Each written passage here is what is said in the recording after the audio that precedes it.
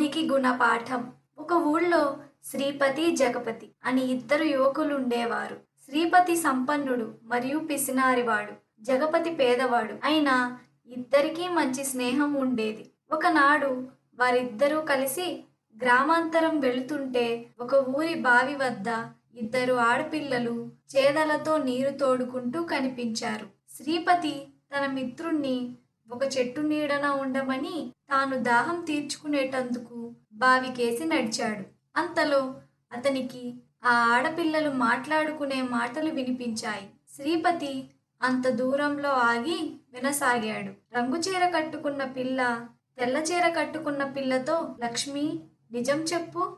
నువ్వు ఎలాంటి మొగుడు రావాలనుకుంటున్నావు? అన్నది. అనుకోవటానికేం రోహిణి నాకు పెద్ద కోరికలే ఉన్నాయి. బోలెడు నగలు చీరలు కావాలి. పెద్ద మేడ ఉండాలి. పనివాళ్ళు ఉండాలి భోజనంలోకి చాలా కూరలు పిండి వంటలు కావాలి. మనం కావాలనుకున్నవన్నీ దొరుకుతాయా?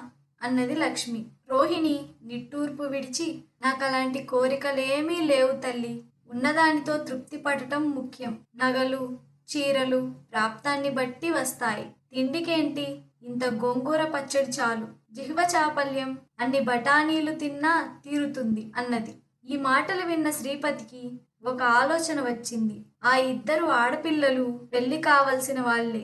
రోహిణి వంటి భార్య తనకు వస్తే దుబారా ఖర్చు ఉండదు. లక్ష్మి వంటి భార్య వస్తే పేదవాడైన జగపతి ఎలా తట్టుకుంటాడో చూడాలన్న దుర్బుద్ధి కూడా శ్రీపతికి కలిగింది. అందుచేత అతను జగపతి దగ్గరికి తిరిగి వచ్చి బావి దగ్గర ఆడపిల్లలిద్దరికీ పెళ్ళి కాలేదులా ఉంది. మనం కూడా పెళ్ళి చేసుకుందాం అనుకుంటున్నాం కదా. రంగు చీర కట్టుకున్న పిల్లను నేను చేసుకుంటాను.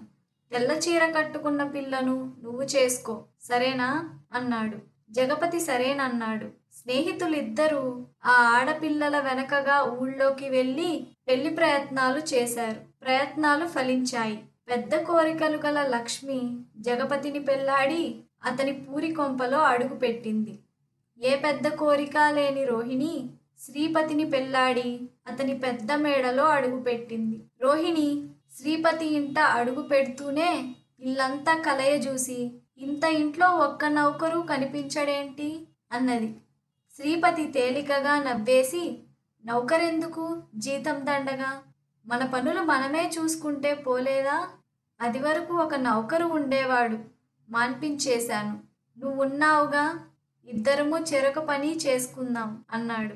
రోహిణి వంటకు ఉపక్రమిస్తూ ఏం కూరలు వండమంటారు? పిండి వంటలు ఏం చేయను? అని భర్తను అడిగింది.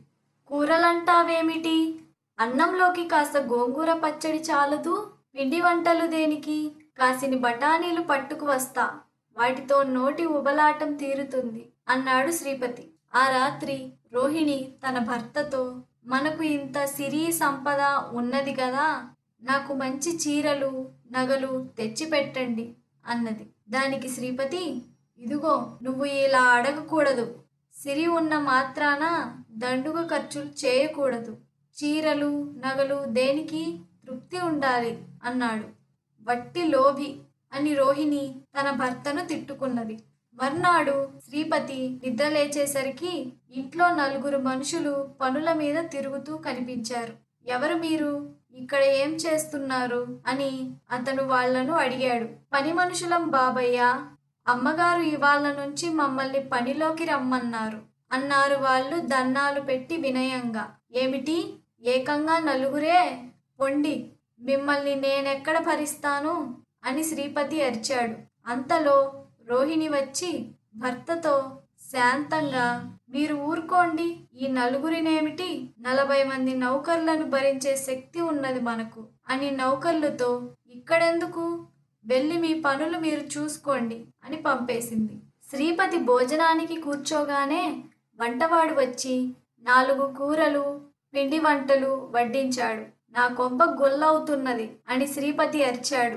ఉష్ ఊరుకోండి. పనివాళ్ళు నవ్విపోతారు. మనం ఇంత తిని ఇతరులకు ఇంత పెట్టగలం. ఎందుకు బాధపడుతున్నారు?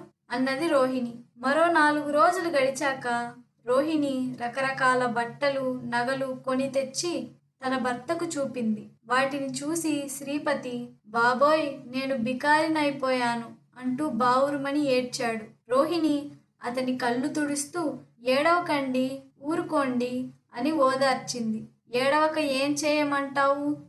ఆనాడు బావి దగ్గర నీ మాటలు విని మోసపోయాను.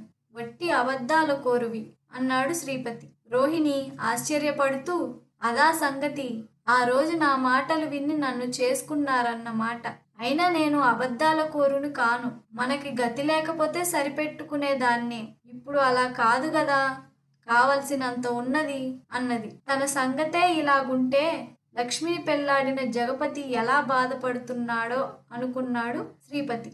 అతను జగపతి ఇంటికి వెళ్ళాడు. అతను వెళ్ళేసరికి జగపతి లక్ష్మి భోజనం చేస్తున్నారు.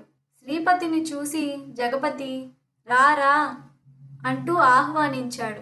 శ్రీపతి ఆ దంపతులకెదురుగా చతికిలబడి అంతులేని గొంతెమ్మ కోరికలు గల లక్ష్మితో ఈ జగపతి ఎలా వేగుతున్నాడో అని తనలో తాను అనుకున్నాడు. కానీ జగపతి మొహం చూస్తే అతను భార్యతో యాతన పడుతున్న లక్షణాలేమీ కనిపించలేదు. అతను మంచి ఉత్సాహంలో ఉన్నట్టు కనిపిస్తున్నాడు. వాళ్ళు ఉత్త గోంగూర పచ్చడి మెతుకులే తింటున్నారు. లక్ష్మి మొహంలో అసంతృప్తి లేదు. కావటానికి పూరిల్లే అయినా చాలా శుభ్రంగా ఉంది. జగపతి భోజనం ముగించి వచ్చి శ్రీపతి పక్కన కూర్చుంటూ నిన్ను కలుసుకుందామంటే తీరటమే లేదు. ఎలా ఉన్నది నీ కొత్త సంసారం? అన్నాడు. నా సంసారానికి ఏంలే నీకంత తీరిక లేకపోవడానికి ఏంటి కారణం? అని శ్రీపతి అడిగాడు. అటు చూడు పెరడంతా చదును చేసి శుభ్రం చేసి మొక్కలు నాటాం. అవి కాపుకు వచ్చాయంటే మాకు బోలెడు ఆదాయం అన్నాడు జగపతి. నీ భార్య కూడా నీతో పాటు శ్రమ పడుతుందా నగలు చీరలు కావాలని వేధించడం లేదా? అని అడిగాడు శ్రీపతి. అదేమీ లేదే అన్నాడు జగపతి. అయితే ఆనాడు బావి దగ్గర జరిగిన సంభాషణ తారుమారైందన్నమాట అన్నాడు శ్రీపతి. తారుమారు ఏమీ లేదు అన్నగారు. ఆనాడు నాకు ఆ కోరికలన్నీ ఉన్నమాట నిజమే. కానీ ఇప్పుడు ఉన్నదానితో తృప్తి పడటం నేర్చుకున్నాను అన్నది లక్ష్మి. శ్రీపతి గుణపాఠం నేర్చుకున్నాడు. సంపద కోరికలను వృద్ధి చేస్తుంది. పేదరికం వాటిని అదుపులో ఉంచుతుంది.